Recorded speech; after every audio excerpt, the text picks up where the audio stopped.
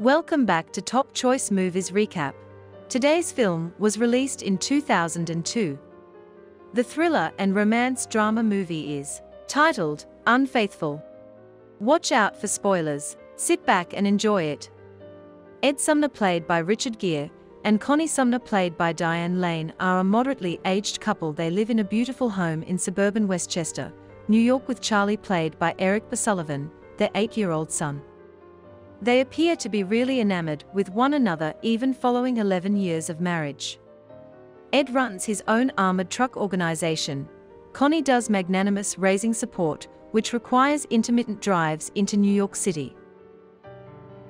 On one of these outings, so breezy individuals are in a real sense being blown around, and Connie slams into a young French fellow named Paul Martel, played by Olivier Martinez, and falls and scratches her knee. The young and sexually confident Frenchman welcome Connie up to his place so she can look after her bruised knees. Although very attracted to him, she flees the scene when he makes a romantic move. But she soon comes back. In her third rendezvous with Paul at the loft, Connie gives in to her yearning for sexual passion. On the train back home, she replays in her mind all the juicy moments of their erotic connection. The affair that started out with hesitation soon leaps into addiction. This prompts a call and visit whenever she is in the city, then, at that point, stumbles into the city for the sole reason for seeing Paul. Connie can't get enough of Paul. She even has sex with him in the restroom of a restaurant while her two women friends wait anxiously for her at the table. Ed sees the ungainliness in their relationship very quickly and his doubts are additionally stimulated when he gets Connie in clearly false, and when a terminated representative suggests that there are things about Ed's family that he doesn't know about. At last he recruits a confidential specialist, who before long provides pictures of Connie and Paul together. Ed goes to Paul's loft, and during the conversation that follows, he sees a gift he had once given Connie that she as of late gave Paul. Ed loses his poise and hits Paul over the head, killing him. He then encloses Paul's body by a rug, cleans off all that he has contacted, and wipes all the blood off the floor. While he is doing this, Connie calls and leaves a message on Paul's replying mail that she needs to end the unruly affair.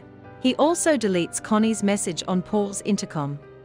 Ed stacks the rug with Paul's body into the storage compartment of his vehicle and later dumps it in a landfill. Presently Connie sees ponderousness in their relationship. Cops visit examining Paul's vanishing, since they track down Connie's name and address in his condo. Sometime later, after the body is found, they return once more. She is sly, attempting to disguise that she knew Paul by any stretch of the imagination, and the police effectively get the irregularities in her story. Ed astounds her by deceiving the police to substantiate her story.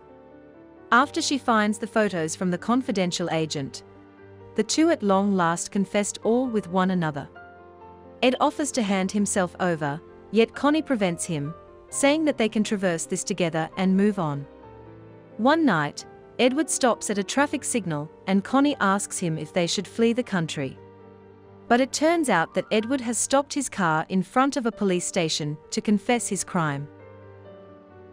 Moral lessons there are several sex-related lessons to be learned from Unfaithful. One is spoiler alert sleeping with another man's wife may get you killed, but the one worth noting is that secret sex, although not exactly morally correct, is fun as hell. The movie explores the love, deceit, guilt, anger and breaking point of husband and wife.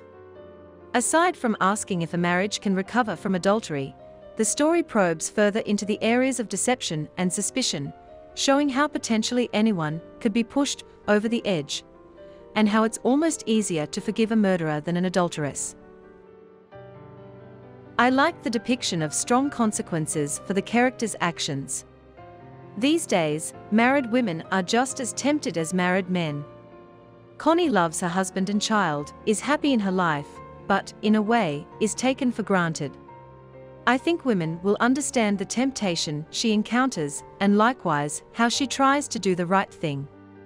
But whether a woman would handle the situation the same way or not is debatable, and should spark insightful discussions with husbands, boyfriends, and especially among girlfriends afterward. Still, it would be interesting to see a story of infidelity where the character's actions are influenced by some form of religious conscience, especially from a subtle Christian perspective, where they forgive each other and experience godly healing and restoration of the relationship afterward. The church is dealing with this very issue, as is evidenced by our high divorce rate today.